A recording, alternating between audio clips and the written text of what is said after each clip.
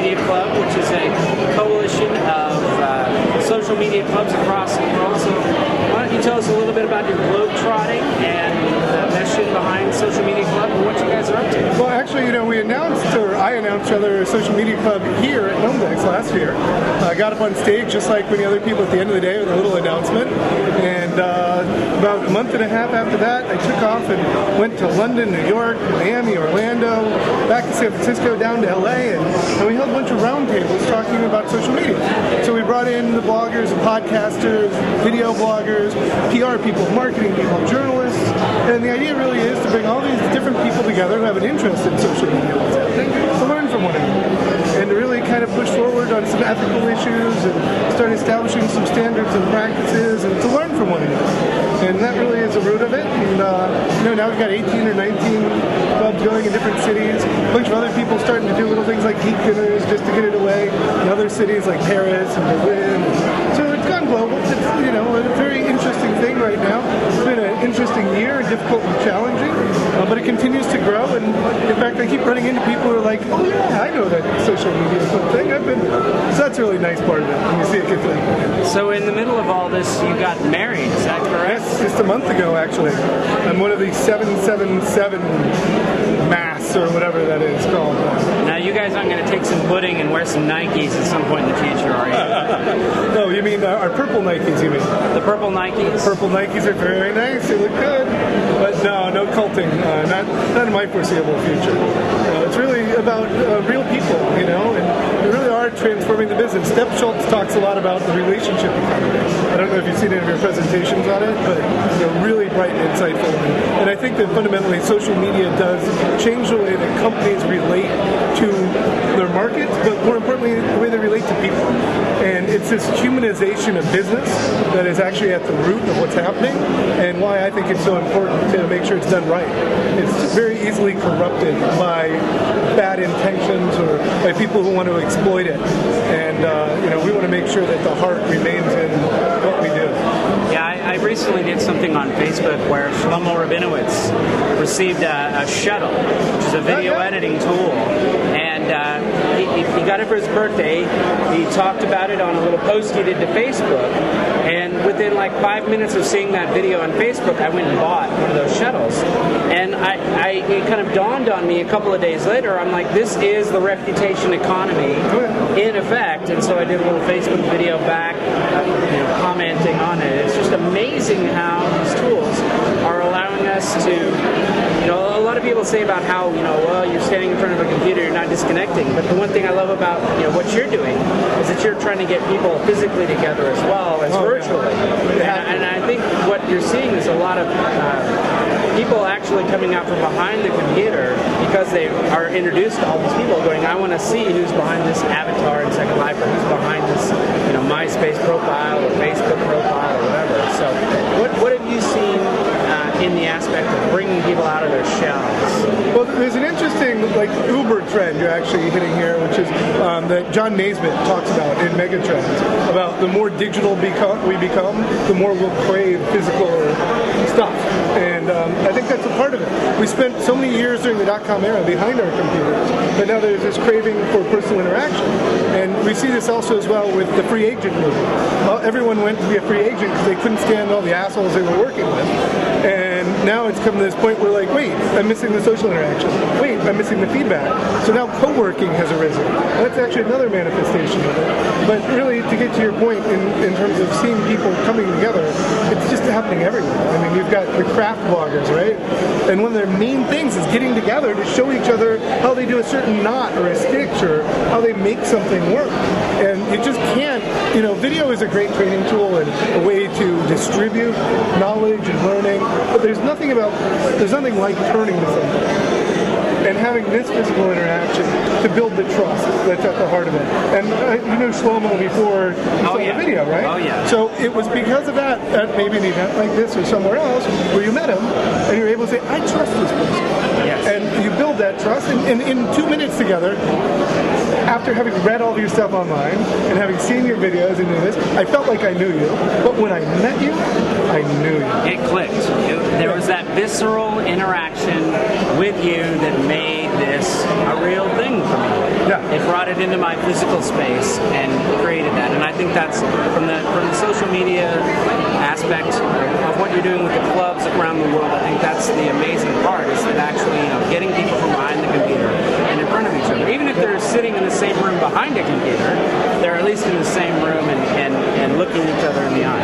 Well, before we got into a big fight about what is social media and the meaning and the definition of that, I used to tell people that lunch was a form of social media because it's this it's this mediation space where we actually have a chance to be social. Um, but now, as we've matured our definition of it a little bit more, what social media really means it's about socializing media. It's about the ability to share it. It's about the ability to build upon it. It's about the ability to have it be a artifact that we can interact around and, and come together with. And there's many different forms of it. There's social software and, all sorts of pieces to it. But um, that's really the best kind of broad definition we've found. So, what's the most innovative thing you've seen in globetrotting that's being done out there in the social space?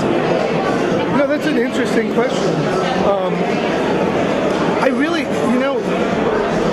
first of all, I think that the best or the most innovation these days is actually a UI innovation. It's about a user interface more than it is about deep technology. Because there comes a point where average everyday people just need access to information. And so things I think that are exciting to me are new ways of discoverability. So recently at WordCamp, um, actually did a great presentation on designing for social software and designing for popularity. And, and she actually did a research experiment where she had an alpha group and a beta group. And with the alpha group, she let them see what everyone else was downloading in terms of what was the most popular downloads. And I think it was around music, right? So it was common titles, music titles. And in the other group, she didn't let them see what other people were downloading. And if you expect Rolling Stone and traditional music stuff to actually be true in the way it is, that music that's good will bubble up, um, that was a different result than what you got. In, in the stuff where they were exposing what other people were downloading, they found that, that certain titles accelerated and became very popular. In the group where you couldn't see, it was very much random, and the chart in terms of distribution and downloads was all over the place. So it really made me think about a lot differently. And some of the things she's done with SlideShare.net, I think, are very innovative in terms of how to think about creating this discoverability that's an important part of social networks.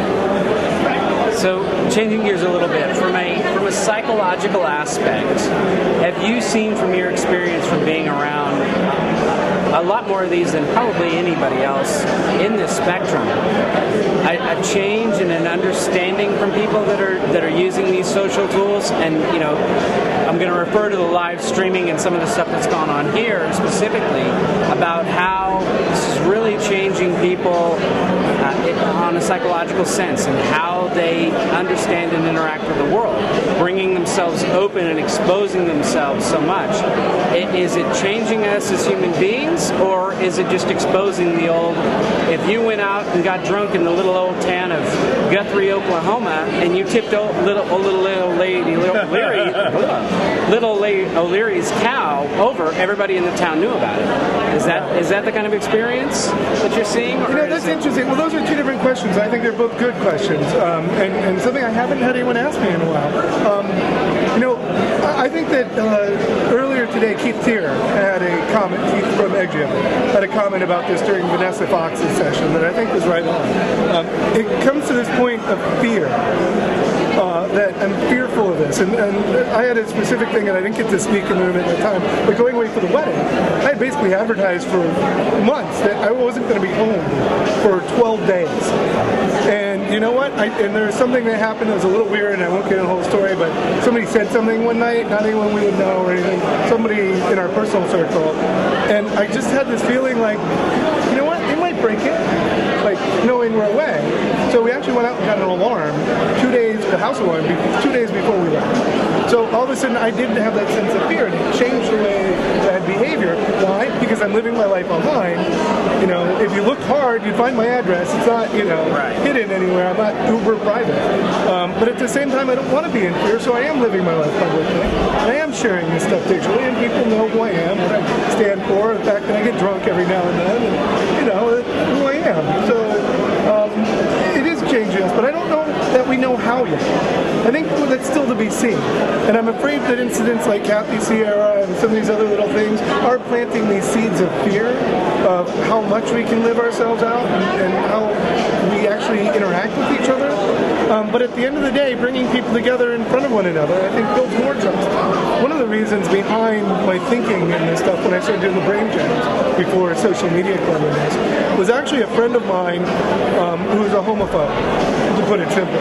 He just couldn't stand being around homosexuals. He just his thing, the way his dad brought him up, whatever it was. And in South Beach, there was a lot of gay men around, and friends of mine did business with, and it was natural and just no big deal. Um, but one night we all went out, and uh, we were having this great time, and this gentleman who was with us, who was gay, was just like said something really, really funny. But my buddy, who was a homophobe, all of a sudden like, "What? You're not fucking gay? What are you talking about?" And was like really like put back. But then all of a sudden he found out like, yes, he was. But seen him as a person instead of as the label or the stereotype or whatever, it didn't matter anymore. So in fact, his his homophobia was actually chipped away because he saw the person, not the stereotype. So behind a lot of the stuff I'm doing to try to bring people together in person is that ability to see people as they are instead of as their culture or their stereotype, and to get people to actually meet each other as you know humans. So I'm hopeful that what we're doing here leads to more of that and more of those opportunities for us to not see the differences that separate us, but the commonalities that really bring us together. Excellent. Well, I, I'll let you get back to the party. I appreciate your Thank you. time and thank you so Oh, much thank for you, being John. here. Good to see you. And uh, what Chris is doing, socialmediaclub.org is where he's at, and you can check that out. We have a, a chapter in Portland, which uh, we're involved with somewhat. Good stuff. Uh, actually, quite a bit. Um, but uh, it- it's been a great experience for us, and I love connecting with people like Chris. Well, thank you so much, John. Thanks for keeping Portland going. It's been a lot of fun up here. right. We'll get to come up for the next one hopefully sometime soon. I'm hoping. Yes. Take care.